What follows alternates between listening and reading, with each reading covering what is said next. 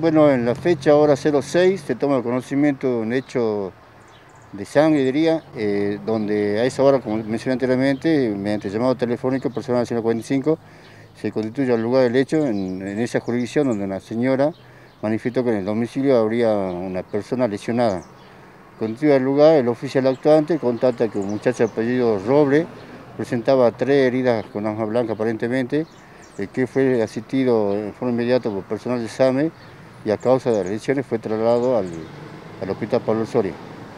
Bueno, de la averiguación platicada en el lugar por el personal del 145 se establece que en el lugar había una, reunión de tres jóvenes, entre llamados, llamados Roble, un tal Peralta y otro de establecer, donde por cuestión de establecer, este Peralta tomó cuchillo y procedió a agredir a su compañero.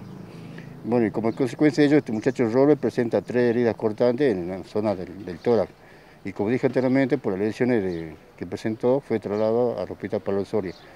Eh, todavía no tenemos el diagnóstico, pero ya el personal de la 145 Popular está trabajando por el tema.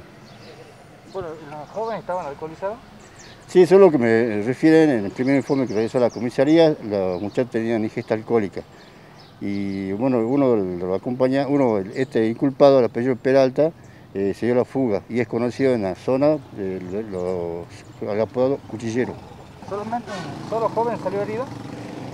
Eh, bueno, el, joven que fue trasladado al hospital Pablo Soria presenta tres heridas, bueno, y el otro, la, tercera persona presenta una herida en la mano, pero no se viste gravedad.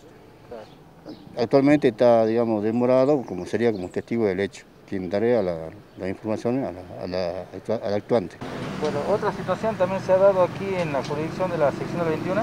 Sí, aproximadamente ahora dos se toma conocimiento llamado telefónico una persona de sexo femenino, refiriendo que en su domicilio particular, bueno, había una pelea de hermanos, en total tres hermanos. Tiene, parece una aparente ingesta alcohólica, bueno, por problemas a establecer, bueno, uno de ellos tomó un cuchillo y, procedió a herir a uno de sus hermanos, pero por el hecho no, no hay lesiones de gravedad, pero sí se procedió a la demora y al resto de, dos, personas y traslado a la sesión 21.